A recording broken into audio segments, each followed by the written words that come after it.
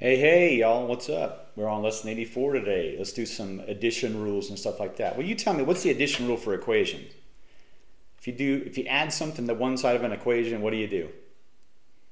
You add to the other side, right? That's all. And that's always been, you know, it's always gonna be the same thing for you. Whether you're doing this, I mean, eventually one of these days when you're doing some college math or calculus or trigonometry or something like that, you're still going to be using the same old rules when you're doing all these different complicated things compared to what we're doing now. So just make sure you know it. All right, let's solve this. The addition rule, of course, when we have a positive 5 sitting next to that x, we don't want it. We're going to subtract 5 here. We subtract 5 here. We have just x left over, and we have 7 minus 5 on the right side. There you go. Okay. Now, you know, it doesn't matter if there's fractions there or what. You just, it, you, you have a principle. The principle is if you add or subtract something from one side, you add and subtract the same thing from the other side. It doesn't change just because there's fractions or decimals. Who cares? We have, an, we have a principle that we follow. Doesn't matter what these are fractions or integers or decimals or whatever. Who cares? We have a principle. All right, let's do it. So here, we're going to get rid of the 1 half from this side, and we're going to get rid of the 1 half from this side. So let's go ahead and put this in 2 fourths, right? Same thing. So we have 2x over here. Then we have 3 fourths minus 1 fourth, which is 1 fourth, okay? The last thing we need to do is to divide by 2, right? Now dividing by 2 is the same thing as multiplying by 1 half. But let's just say you didn't remember that. You know the answer is going to be x there. We're going to divide by 2, right? Or 2 over 1. Well, you know the rule. When you, when you go a quarter or divided by 2 over 1, that's the same thing as a quarter times 1 over 2, right? So x is going to be 1 times 1 up top, 2 times 4 on bottom. There we go. Okay, that's all there is to it. Okay, negative coefficients. First off, you tell me, if I have, um, I don't know, 10x, what's x called? Since it can vary based on values. It's a variable, right? This is the coefficient, the 10, all right? Now we might have negative coefficients. In other words, we might have an equation, they say solve this. Negative 10x is equal to 50, okay? You, how do you treat things? Exactly the same way you've always done. In other words, what would you multiply, or excuse me, what would you divide both of these sides by to get the answer? You know you want how many x's right there? You want 1, right? Positive 1. Okay, so you're going to divide this by negative 10. Well, the rule is, of course, if you divide the left side by negative 10, then you divide the right side by negative 10. All right, this, of course, is gone. Well, you know 50 divided by 10 is 5, but the question is, what's a positive divided by a negative? And you know the rule, right? If it's the, you're dividing or multiplying and they're different signs, the answer is negative, so your answer will be negative 5. That's all there is to it. So let's do one. Negative 2x is equal to 4. Now you, are going to get to a point where you got you got this really quickly. Boom. But let's just do it. Just pretend like you didn't do it. You didn't know. And so we're going to do it the old-fashioned long way, okay? So we, without even thinking, we just go, oh, immediately divide by negative 2, divide by negative 2. We know that's gone. So we have just an x. We have a positive 4 divided by negative 2, opposite signs, so the answer is negative. That's all there is to it. There you go. Okay, here's another one. Copy and, you know, and pause it and copy if you need to. Same thing.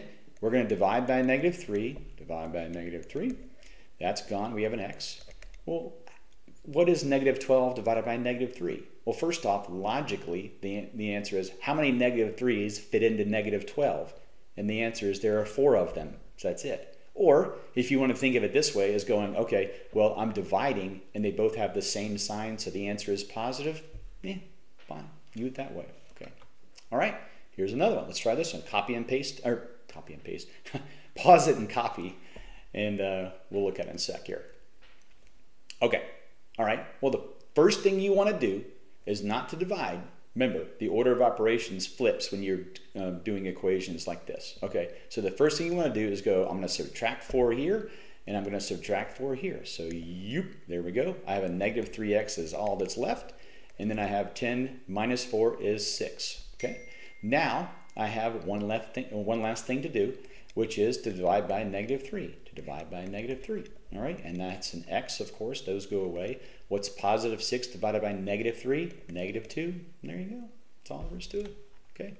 All right. Let's look at properties of equality. Don't, don't get too caught up in this. Um, you don't need to copy this all down. It's just, it's okay. The addition property of equality says that if A is equal to B, then A plus C is equal to B plus C. All right? In other words, if this is equal to that, then if you add the same to two different sides that are the same, the answer will be the same as well. Subtraction, it's the same thing. In other words, if this is the same as that, if you subtract the same number from both sides, well, no big surprise, you're going to get the same number, all right? Multiplication property of equality, if A is equal to B, then if you multiply, in other words, if that is the same as that, then if you multiply by this same number twice, you'll get the same product. Big whoop, okay? Same thing with division. If you have the same numbers, you divide by the same number, you'll get the same number, okay?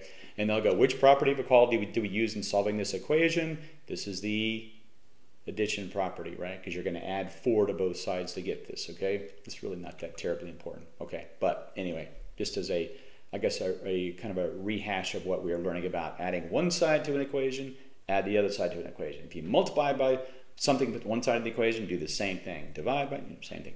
Okay, try page 264, those practice problems, pause it and try A first. Okay, let's, first off, we need to subtract the 5 subtract the 5. So we have a new equation that's negative 2x is equal to 9 minus 5. Last thing, divide by negative 2, divide by negative 2, just to clean up, you know, that there. And so x is going to be positive 4 divided by negative 2, which is negative 2. There you go. Okay, pause it and try b. Okie doke. And we're going to subtract a half from both sides, which, you know what, let's go ahead and you know, turn this into 4 eighths, right? It's the same thing, right? So we have 3 eighths minus 4 eighths on this side. Ooh, isn't that tricky? About that? Okay, so 3 eighths minus 4 eighths would be the same thing as 3 minus 4, or negative 1 eighths. There you go. Okay, so we'll have our new equation here. It's negative 3x is equal to negative 1 eighth. All right, that makes sense so far? Okay, now don't get, don't get complicated, the cute. Just do exactly what you've always done. You divide by negative 3, and then divide by negative 3. And then x is going to be x now.